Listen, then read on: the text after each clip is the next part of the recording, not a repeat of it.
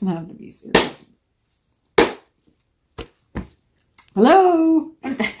Doing it anyway. Ken's trying to make me be serious. It's episode 20 of the Harmony Reads Ooh. podcast. 20. 20. Un- Nice. Unbelievable, eh? Time's flying. We've read a lot of books. We're getting old. Yeah, every day. Older every day.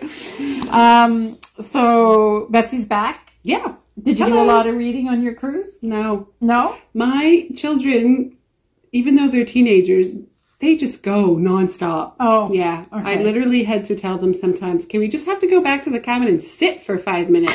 Okay. But then I used that time to knit. I didn't read. Ah, okay. So. Okay. Yeah. So no, I really haven't read much at all. Okay. I'm a little weak on my reading this week, Uh oh. too. Simone? Oh, good. She brought the big book. Oh. Awesome. I have 20 pages left. oh, no. That's it. That's it. I think 20 I'd like to borrow it.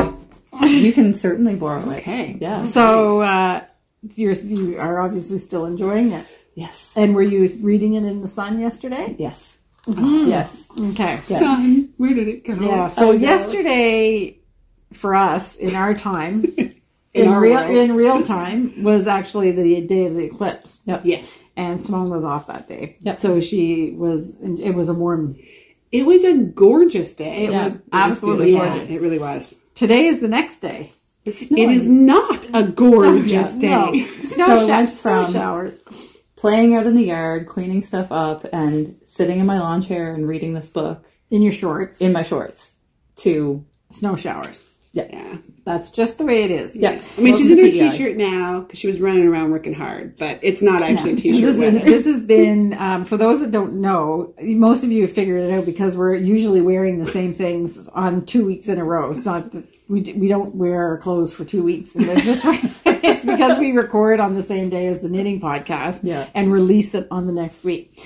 So um, today, if you watch the knitting podcast, you'll have seen that there's like multiple cuts in the thing and whatever, and we explain that it's been a crazy day with customers. Yeah.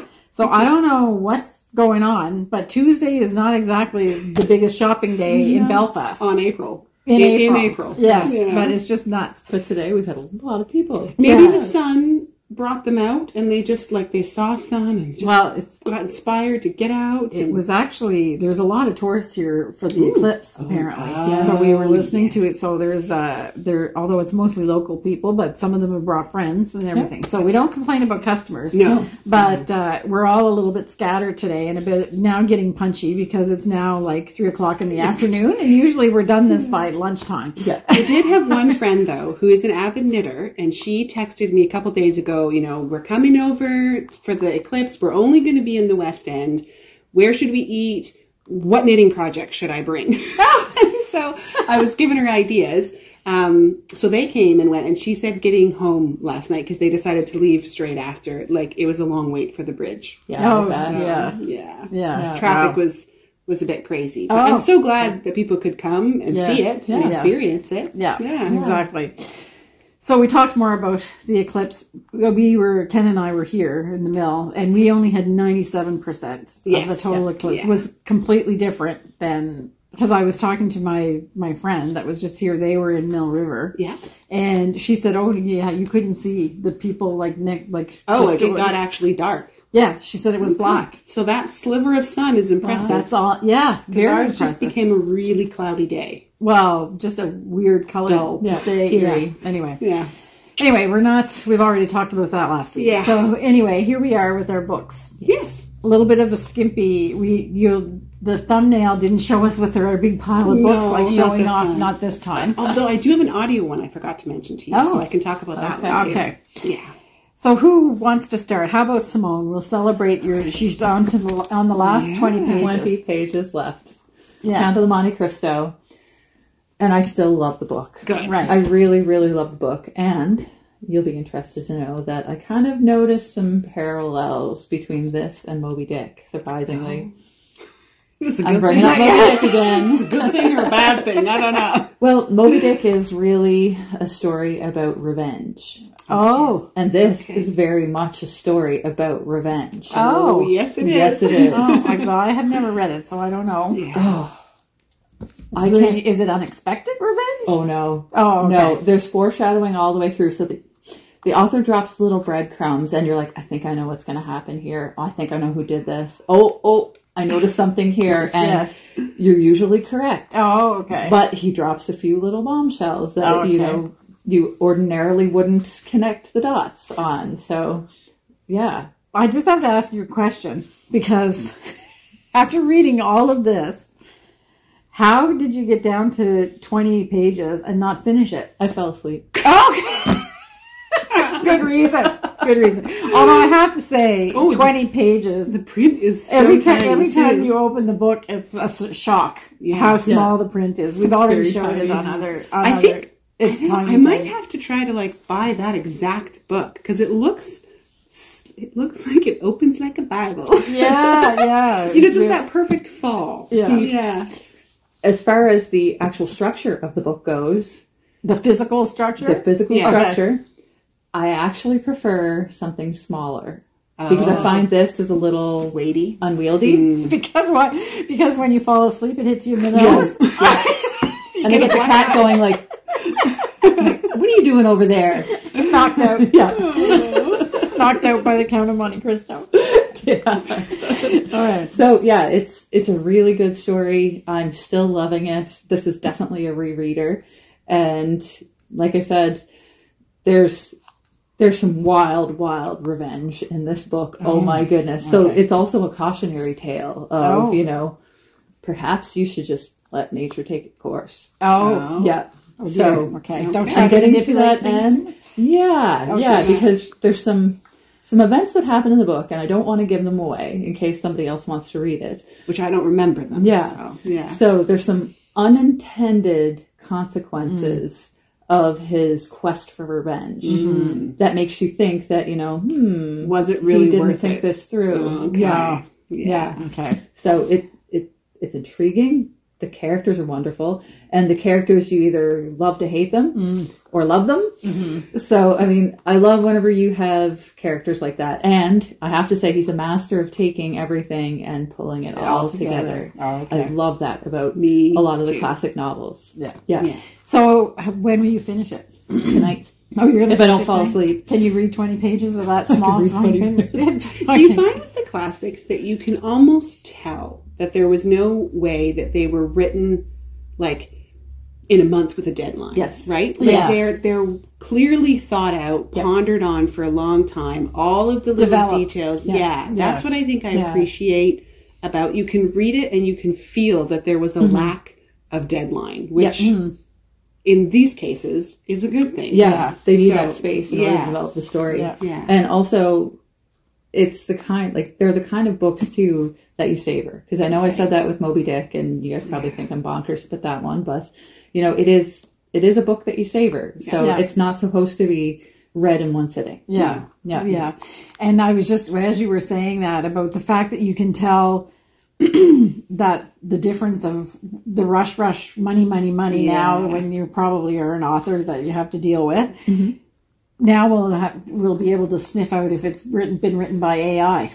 Oh, maybe. Yeah, because that'll be the next thing. Oh, is yeah. that they're going to be written? But you, I mean, that's. I don't think it'll be pretty hard to fool people. I think, like, if you can tell the way, like, the time That went that into went into yeah. a book that a human being wrote that wasn't under a deadline or under hmm. pressure, modern pressures or whatever. I'm pretty sure we're going to be. This will be an interesting study. You have me Yeah. completely intrigued. I almost want to purposefully look at maybe this will become the university course, you know, purposefully written AI Versus literature human. versus human literature and to to actually study and see can we see the difference of humanity in a writing versus electronic I, in I a think you'd be able to tell. I hope so. I think Initially, humans anyway. have a very sensitive. We've got a very sensitive radar if we choose to listen to Yeah. it about things. I think Yeah, that'd like be it's interesting. kind of, and um, it's funny because I think I told this story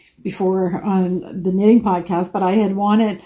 I use a, a program to do like the photo, like to, Yeah. to edit the photos and stuff like that, and they're like touting this AI. Just put put in the description of the picture that you want and whatever. So I thought I would try it on one of the newsletters, and I wanted to have.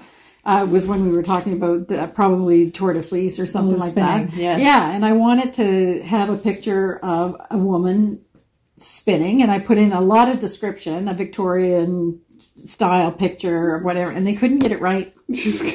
Like the hand like they got the picture so when i looked at it i was like oh okay that's really good. But then i actually started looking at it because i wanted to do some editing and the hands were not right. They would put hands there but they weren't in the right position mm-hmm. and somebody just posted on one of my feeds um, ai this is what ai thinks knitting is and it was kind of the same kind of thing because they're just mishmashing together. everything Yeah. Betsy and I talked about that too about crochet. Oh yeah. Yeah.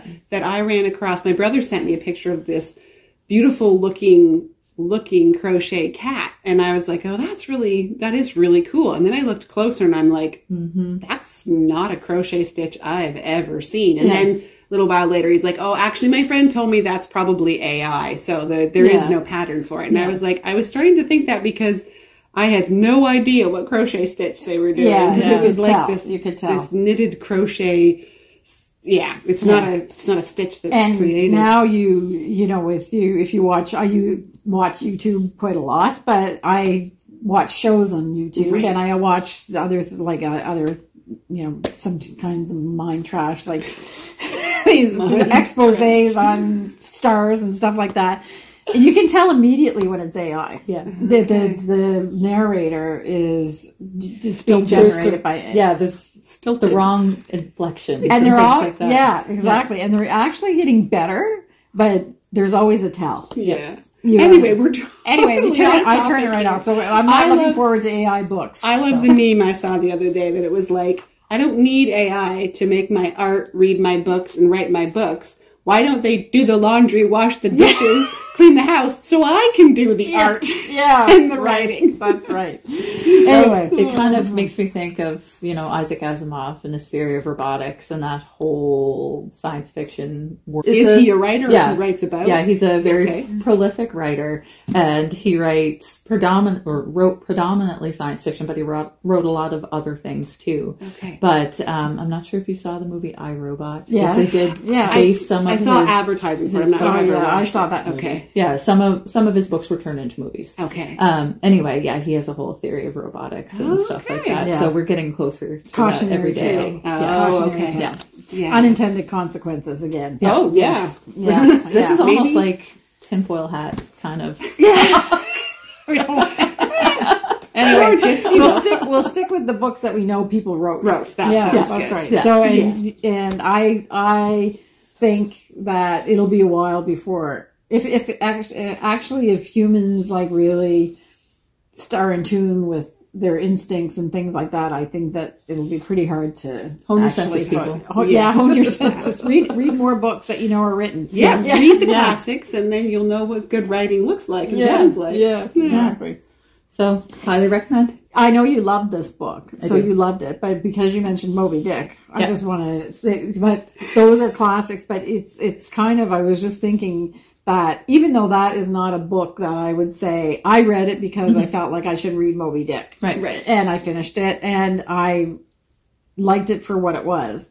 But you um, you there was still enjoyment of reading it, even though there was a lot of things that I said about it that I was like, I don't know why you did this, or well, how come he had to have a whole chapter about white and stuff like that. But you have you have have to have appreciation for the skill that went into crafting Yeah. that story and that book. Yeah. I And also that's the find I really appreciate in the classics the way the language rolls off your tongue. Yeah, Like the the word structure itself is a craft, and because I'm a whisperer when I read, I Yeah. actually shape all the words with my mouth. And so I find when I'm reading a classic, just the way the language is pouring off my tongue Yeah. is is poetic itself. Yeah, so, because yeah. it's not like uh, verbal words being translated from No, text writing. a- yeah, Like exactly. that's, people don't even make full sentences anymore. Yeah. So that's what I love about like the description and the the craft of the writing is Yeah. what draws I- me in.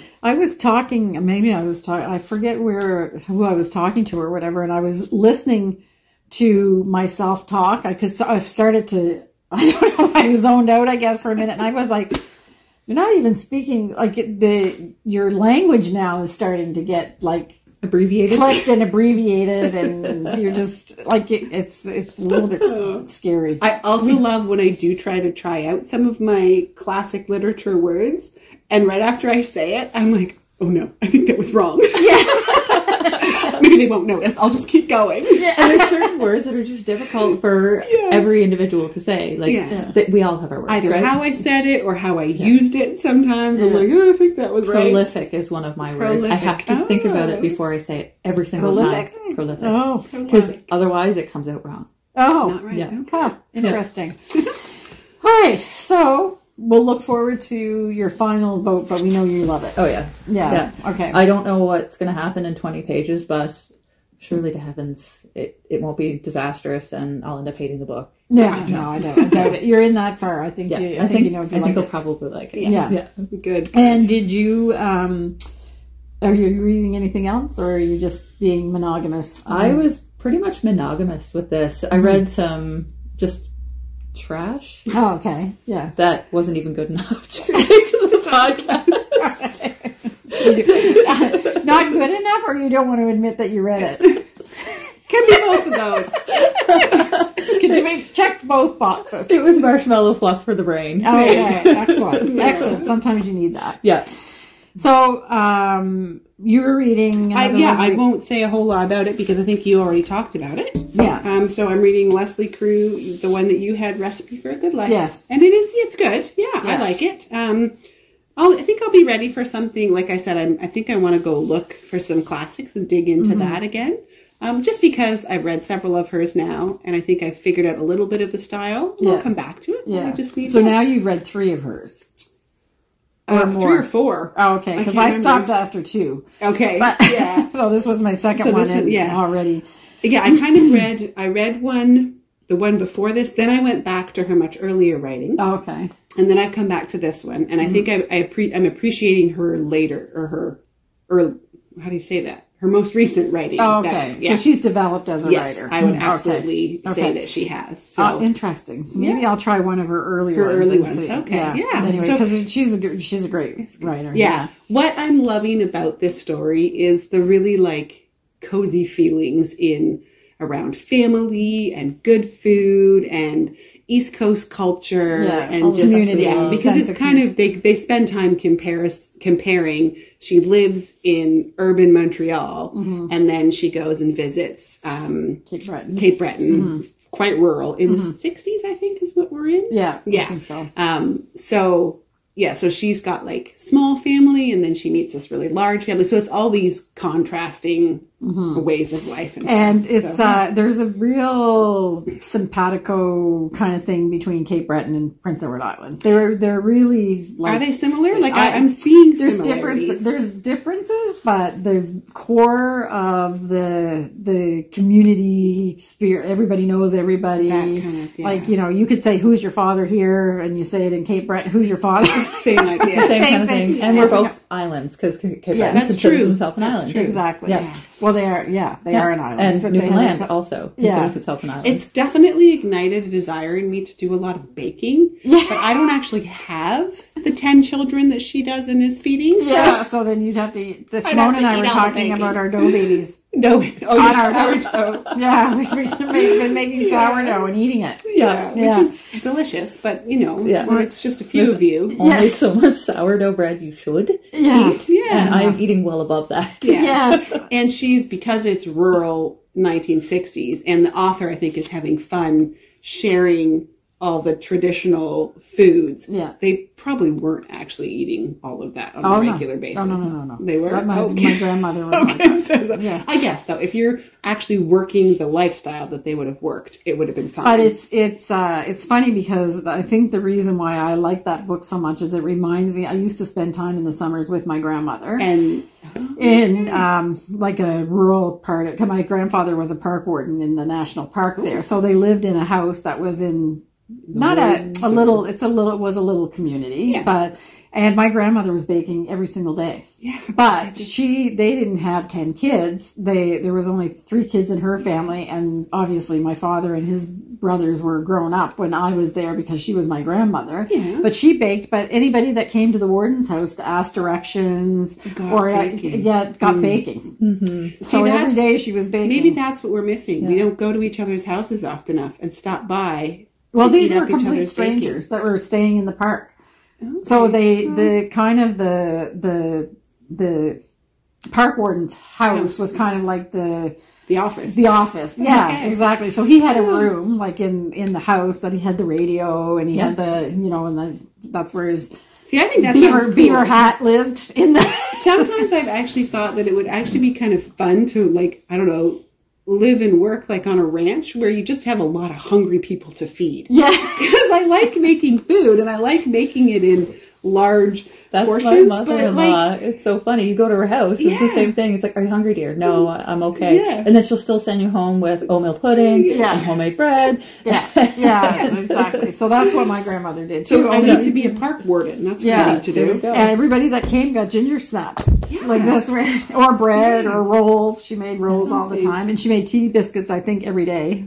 And okay, that okay. Amazon recipe, doesn't yeah. come to my house that often. Yeah, But I could, you know, share with the Amazon share with the Amazon drivers. Yeah. Anyway, so that's the that's why I like that one because Yes. it was very nostalgic For you. for for Okay. me. Yeah. and I think people that um, live in a small um, place where community ties are still really important would find things in common with it with as well. Yeah. yeah. Yeah.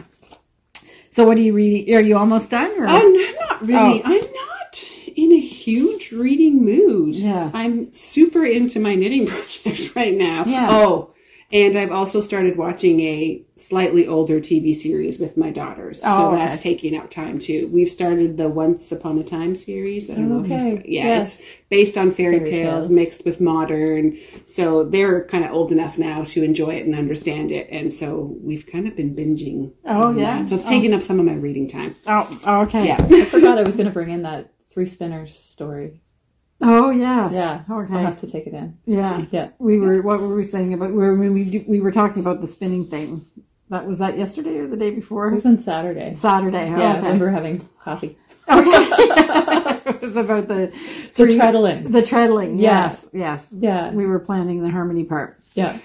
Anyway, um, so I was going to the last time I was here with you. I was saying I need a palate cleanser. Like I just that was. Uh, I was think, just what were you reading when I was um, the wake from Newfoundland. Oh, so I yes. finished it. Okay. Yeah.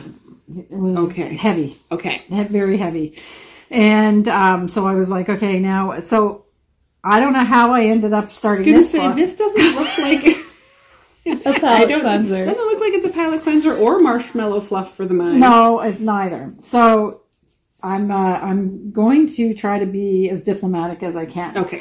because this book is called To Serve, and it's about a nurse in that from Prince Edward Island called Geor- Georgina Pope, and she was touted at the time the Florence Nightingale of Canada. So she um, she went to New York and was trained in the Bellevue Hospital in New York, and then in the late 1800s, and then shipped off immediately to the Boer War in South Africa.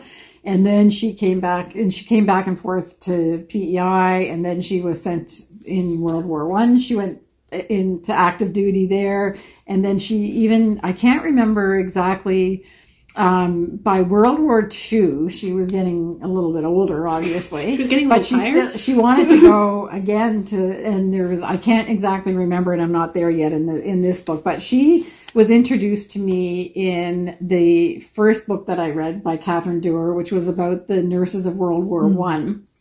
All the nurses from PEI, basically, she chronicled almost every one of them that went overseas. And that was called Those Splendid Girls. Okay. So Katherine Dewar is a very thorough researcher, and her writing is um, in those Splendid Girls was very much um, factual based, but storytelling. And she told about the lives of those women and really gave you an appreciation for their struggles and what they did. And I had no idea how um, you know, I I guess I thought that World War One, there were nurses, they were trained, they showed up at a hospital, and then they lo- worked on sick people. But in fact, they had to build the hospitals, and they were, were in tents, and there was all canvas, the like, yeah. yeah. canvas under the canvas. They Yeah. were like, so that told a story that I had no idea about. And she did a second book, and then which is about the nurses of World War II, which I also read, uh, but it was um, it was harder for her to get the research for the second book because some of the records are not even released yet. They're still redacted and everything Oh, for. World War II, which seems completely bizarre. Like what Yeah. what kind Yeah, of secrets are almost a hundred years later. yeah, almost, almost. Yeah. But so she that was a difficult book for her to write. And then she decided to do a book just about Georgina Pope. And I lent this to you. Yep. And then I got it back rel- relatively quickly. Yep. So I was like, I got a little suspicious that maybe it wasn't as much so interesting as um, those splendid girls. So I just had this sitting on my desk in my in the house, and I thought, well, I, I should just read it because I never read it. It's very deep in research. It is. Every, did an excellent if you want to know what Georgina Pope had for breakfast in 1899 when the governor general of whatever was visiting, Oh. then she's got all the details. A little more detail than Yeah. you might want. So um, the the notes at the end of each chapter, there's footnotes that there's. I don't think I've passed a chapter yet that the footnotes in tiny footnote writing is less than three pages. Mm. Every sentence has a number. Yeah. almost. It's very. It's heavy. It's yeah. yeah, it's it is. It, but it is. I mean, it's a love. It's a no. Not lovely is not the right word. It's wonderfully it, researched. It's wonderfully researched. You'll know every detail about Georgina Pope, who was an amazing woman, but she really didn't do any um, literary embellishments at all. okay.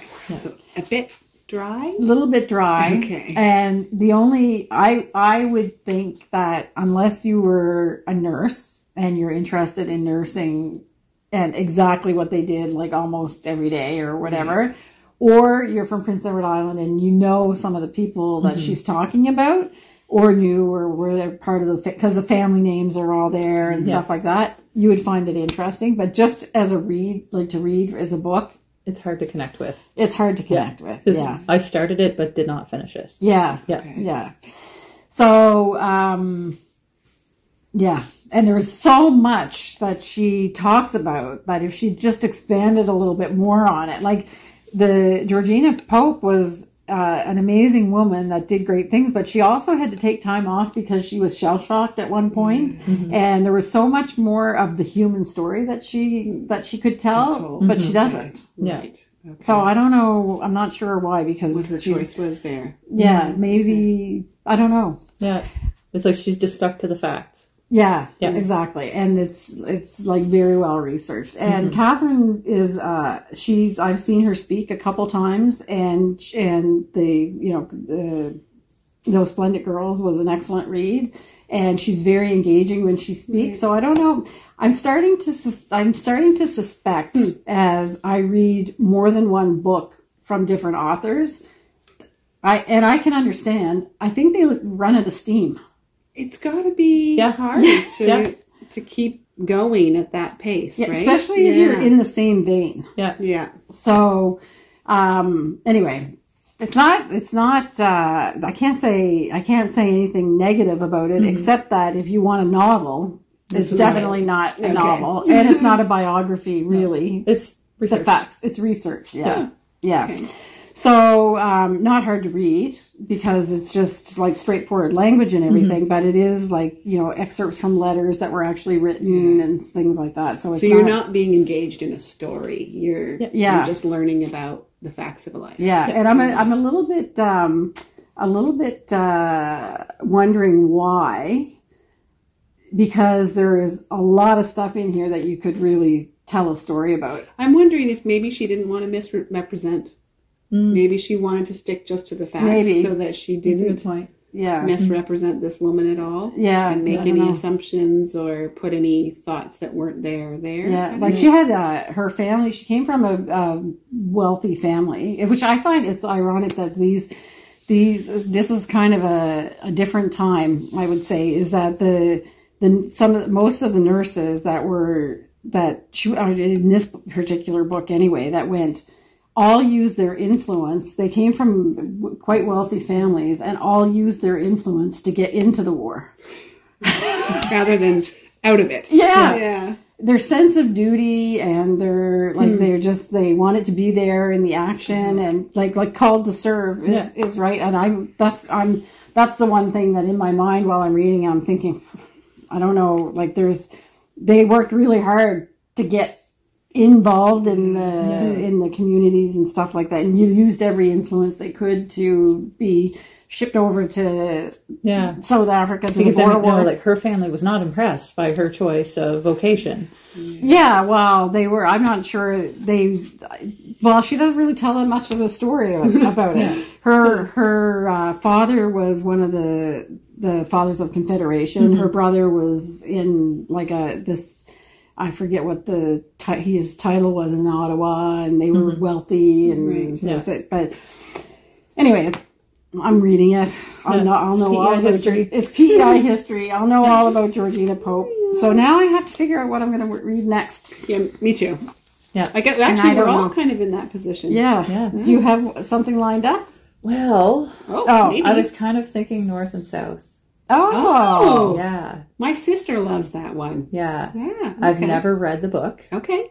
and I used to be involved in uh, an online book reading club kind of deal called Old Books New Readers, Okay. Oh, okay. and every month they suggest An older a book to read, Okay. and they revolve around mainly classics. yeah. yeah. and I think for February it was North and South, Okay. and I thought, ah, that's been on my to read list for a while, and I actually found a secondhand copy, and it's been sitting on the bookshelf, so maybe now is the time Ah. to Go with that one. to go with it. Yeah, There we go. yeah. Yeah. Okay. I had no idea.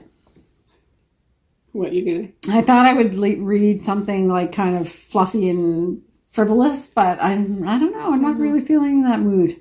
I don't know. Oh, I was gonna. I had said about an audiobook. Oh yeah. So while we traveled, we we're not done yet. We listened to Rick Mercer's most recent. Um, is it the Road Years or the? Yes, I think so, or something close to that title. It was good. He's very he um, actually reads it and he's the actual narrator when you're listening. Is that how you call it? A narrator? I don't Yeah. yeah. Um, I did not like. I don't pay very close attention to politics. I will admit that. So he's telling some stories of because he's met a lot of Oh yeah. Yeah. politicians and and most interesting to me is his take on Stephen Harper. Oh really? I'll oh. just leave it at that. I'm gonna have to read that book. you, you learn some things about Stephen Harper that yeah, it's it's a, that was an interesting chapter to me. I was like, Oh. okay, It was so like the one that I read by him where he ended up going to Harvey's and having a burger with Jean Chrétien because Jean wasn't supposed to be having hamburgers. something of that sort. Yeah. So and so it's interesting because he spent significant time with Chrétien and then taught and some others. Just the sort of complete difference in who Stephen Harper was Yeah. compared to the rest of them. Okay. So it's I'm interesting. intrigued now. Maybe I'll have to it's like change. it's my not book. necessarily about his political differences. It's, just about him as as, a a person. person. Yeah. Okay. So- Interesting. Yeah. So it's yeah, and there's a few things where some situations he managed to get himself into that you're Who, like Rick Mercer? Yes. Oh yeah. You're like, oh, buddy. Okay. Yeah. So, so Uh, it's good. I would, okay. I would recommend that one. And if you can do the audio, I would recommend the audio as well. Uh, So, somebody yeah. just commented about the fact that they read or they listened to Oh, the audio talking book. Canadians. Yes. that was the Talking one. Yeah, Yeah, Yeah. yeah. and they on the on the podcast they commented Yes. that it was so really I would recommend worth this this next one because he well. read that one. too. He Yes. was the, Yeah. redoing the He, it just it's so believable to hear him read it in his own voice because Yeah. he has such an iconic But Canadian even voice. to read his writing too, you you still get him coming through. yeah. Yes. Yeah, Okay. like it it reads very much like he oh, speaks. Yeah. I just I love it's nice. hearing his. Is it Newfoundland? Yeah. Yes. his Newfoundland. It just he just has a slight Newfoundland accent. Yeah. And for me, as someone who hasn't wasn't born and raised in this area, there's some similarities between his accent Oh, and yeah. some of the locals here that, Yeah. that I I'll catch every once in a while. And I'm like, oh, it just he feels so maritime. Yeah. And it's funny because I've been studying Irish for the past couple of months, Oh, okay. and I've been noticing, okay, this little piece here and this little piece here. This is where some of our accent comes Comes- from, right. Because Yeah. you know there were so many people that came over from Ireland to the east coast of Canada, Yeah. and there's still a, a thriving community. Yeah. Yeah. Yeah. So uh, that would be my a good Yeah. recommendation. Yeah. And then of course we popped some Stuart McLean in Yeah. now and again for the girls because the girls didn't really connect with the Rick Mercer stuff No, too much, no. but Stuart McLean they They love the I David Miller stories. actually, um, they read a Stuart McLean, or they- they did a segment on CBC. Um, it must have been on Easter Monday because it wasn't regular programming Okay. of a Stuart McLean story that I'd never heard before, Oh. which was I thought I'd heard them all, but Okay. yeah, what was it about? Um, uh, I I just remember. Do you remember Ken? No. Oh, yeah. Anyway, I listened to it and I was like, "Oh, it's weird. I haven't, I haven't heard this one before." Yeah. Oh, I know what it was. It was uh, a seed blew into his car. He was talking about how you never have a clean car anymore once you have kids. Right. And so he he yeah, and so he got uh this is Dave got motivated to clean the car and when he cleaned the car there was so much sand in the cl- next to where the seat the Oh. driver's seat was that a seed had blown in there and I had planted did you did you hear that one? No, but I can use my imagination. I, so you'd never heard that story either? It's worth looking no. up. And it's quite a long one. And at the end, I was almost in tears. Oh. yeah. Okay. yes, it's will- very poignant. Okay. Maybe because of its length, that's why you don't hear it. He didn't read maybe. it maybe as often because Yeah. Anyway, it was really, really look good. And I up. forget. I think it's called um, um, the Tree of Heaven or something like that. The Tree of Heaven. Okay. Do you have you heard of it? No. No. Okay. No, anyway, it's up got then. something like that. So it's uh, it was one that I never heard of. So look it up if you. It's it's long. Like it's. I think it was like more than twenty minutes. Yeah. So it was like pretty pretty long for his stuff. It's usually shorter, and uh, it has a really really good story. So yeah, or message I should say. Yeah. Good. Good. All right. Okay. I think that's it. Yeah. All right. So we'll see you in two weeks if you're just a reading podcast viewer, and uh, or next week if you're watching the knitting podcast as well. Bye. Bye.